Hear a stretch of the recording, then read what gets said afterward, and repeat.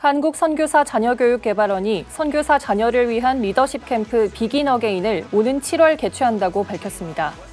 캠프는 한국세계선교협의회와 문화체육관광부가 후원하며 중고등학생을 대상으로 각각 30명을 모집합니다. 주최 측은 20여 년 동안 한 번도 거르지 않았던 캠프를 코로나19로 중단하기도 했지만 이번 캠프가 참가자들에게 평생 잊지 못할 추억과 함께할 동지들을 만들 기회가 되리라 확신한다고 전했습니다. 캠프 신청은 내달 1일부터 한국선교사 자녀교육개발원 홈페이지를 통해 신청할 수 있습니다.